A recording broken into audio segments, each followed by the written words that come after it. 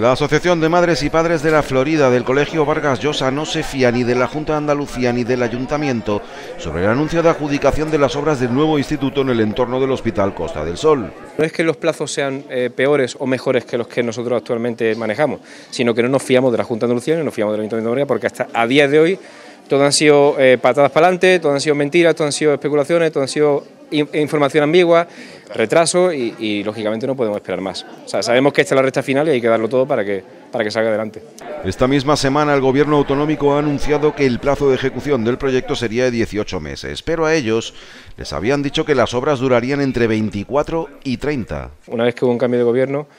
empezaron a, dilatar los plazos, no sabíamos muy bien por qué, y, luego aparte los trámites burocráticos de todos los, procesos administrativos no se han cumplido tampoco en plazo. Lógicamente vamos mal de tiempo, estamos en octubre de 2021, tenemos que llegar a septiembre de 2023 y son dos años lo que queda en escaso. Si realmente se cumple los 18 meses, llegaremos. Pero hay que tener en cuenta que también hay que adecuar los accesos al, instituto,